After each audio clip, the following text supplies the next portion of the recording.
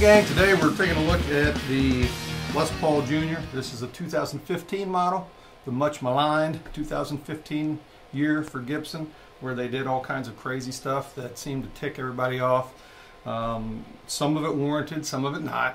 Um, but we're talking about Gibson, and um, whenever they try to change anything, uh, it's usually met with uh, some anger from the purist, and then again, some of their ideas are just seem kind of crazy. But um, 2015, the biggest things that came with the robot tuners or the G-force tuners, which I've taken mine off, obviously. Um, the G-force actually works pretty decent for what it is, uh, you know, self-tuning and stuff like that. But um, other than than the the ease of being able to, you know, maybe switch into like some open tunings and stuff, you know, really quick. I don't really see that much of a use for it for me personally. Um, like I said, I took mine off. Um, Gibsons with their headstocks and, and, just the design of it, um, you almost kind of have to kind of sweeten the tuning a little bit.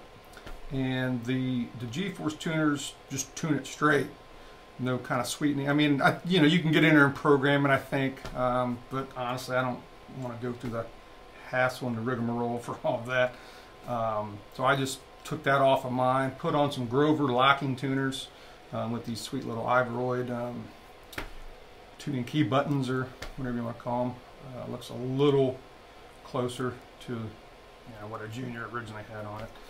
Uh, the next thing they did, well, the Les Paul logo, they did the Les Paul 100 signature logo, which I gotta admit I'm not a big fan of, but it's just a logo on a headstock when all's said and done. Who really cares?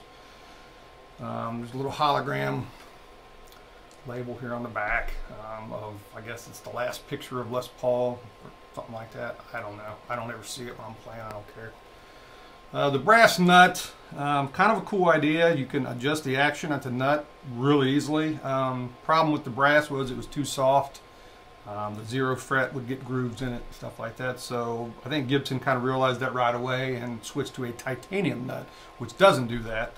Um, and if you buy, even now, even on, you know, even if you buy a 2015 now in 2017, um, if you call or, or, you know, email them, they'll send you a free replacement nut, which is what I have on here. Um, there's also one made by Graphtech. It's a Tusq nut, and it actually kind of has a cool, it has angled slots for the, uh, for the G and a D, um, which uh, I guess would help with the Gibson angles there. Um, it doesn't have the zero fret though, not if you're into that or whatever. So uh, the frets are kind of small for um, for you know nowadays, but neck plate's good. Um, it is wider. It's like 0.05 or something like that, wider on each side. Uh, it's noticeable.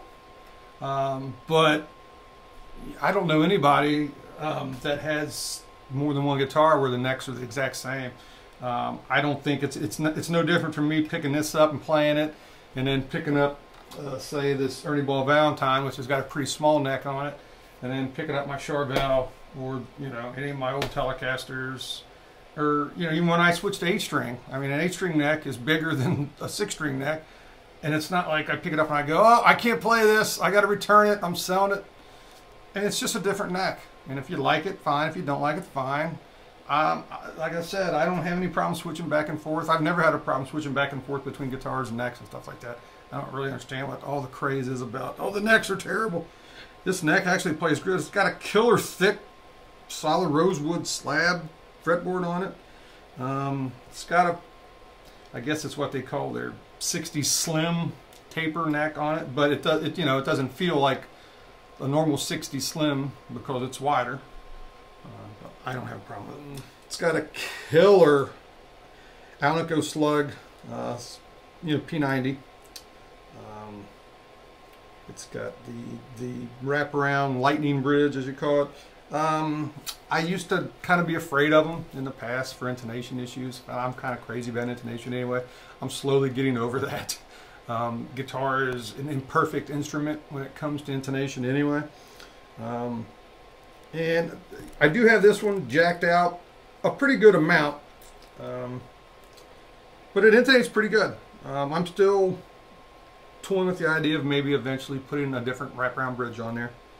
Um, but this one's doing fine for now.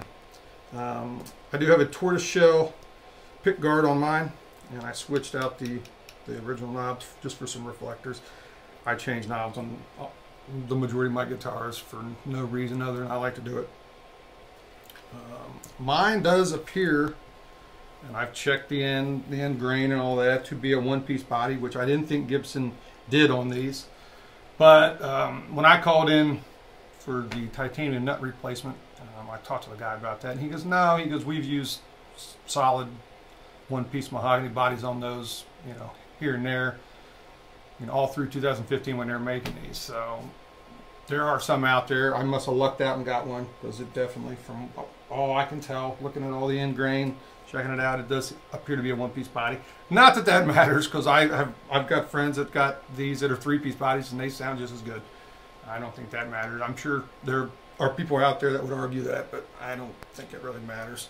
I mean, unless when they join them, they don't join them correctly.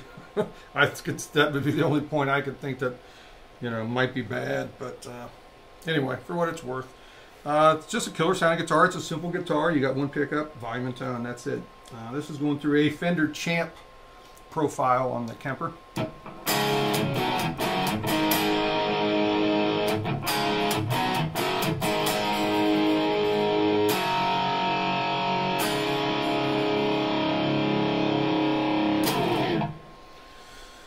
Yeah, it is what it is. It's a Gibson Junior. You know, Les Paul Junior. They're just I've when I was a teenager into Ibanez guitars and, and all that stuff, I would have looked at one of these and gone, that's man, gross, I don't want that. But as I got older, I just, for some reason, something changed in me, and, and I guess it's the same. And I used to not be a Les Paul guy, even though Ace Frehley was like, you know, the reason I got into guitar. I was more of a Fender guy, you know, when I was younger, um, than a Gibson guy for some reason. But um, now I've got more Les Pauls and I have Fenders and I have a Junior. So I guess your tastes change as you grow older. I guess I don't know, but uh, I've been wanting a Junior. There's just something inherently cool about a Gibson Les Paul Junior. So. And now's the time to get these 2015s because they are going for dirt cheap. Um, Sam Ash right now are selling uh, the single cut juniors for I think you know with coupons and stuff uh, you can get it for probably about four and a half.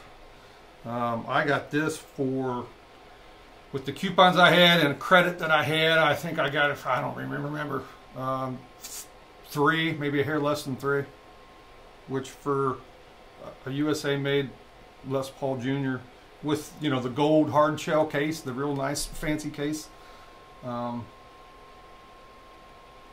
it's a it's a great deal. If you take the G-force off, you can probably sell it eBay or Craigslist or Reverb or something like that and get some of your money back. Like I said, Gibson will send you the titanium nut for free. Um, I've seen the Tusq alternative about 19 bucks online, so may give one of those a shot eventually. Um, but all in all, it's it's just it is what it is. It's Gibson Les Paul Jr. You know, it's it's it's about as simple as a rock guitar can get, and they're great for rock and roll. I mean, it's just big old slab of mahogany, big old mahogany neck, single P90, volume and tone. But yeah, that's what it is. I'll put some close-up pictures uh, after the video. Thanks for watching.